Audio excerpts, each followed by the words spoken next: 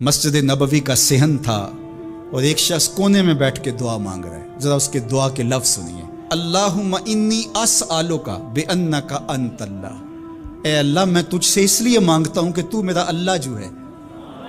जरा गौर कीजिए, मेरे वालद के दामी फरमाते थे अगर बेटा बाप से कहे कि अब्बा जी, मैं आपसे इसलिए मांग रहा हूँ कि आप मेरे अबू जो हैं तो बाप को अपना वजूद बेच के भी देना पड़ा तो उसकी डिमांड पूरी करेगा। जो उसने लफ्ज ही ऐसा कह दिया। तो बंदा क्या कह रहा है? अल्लाह इन्नी अस आलो का बेअन्ना कान तल्ला अल्लाह, मैं तुझसे इसलिए मांग रहा हूँ कि तू मेरा अल्लाह जो है। ला इलाहा इल्ला अंता। तेरे अलावा कोई है भी तो नहीं। अंतल अहदुस्समदुल्लजी लम यलिद व यूलद। तू एक ही है, वाहिद है। और कोई है ही नहीं जिस दर पे जाऊँ। कोई चौखट नहीं है जहाँ दामन पसारूं कर। रहा हूँ ये वो दुआ कर रहा था कि मेरे हुजूर ने सुन ली।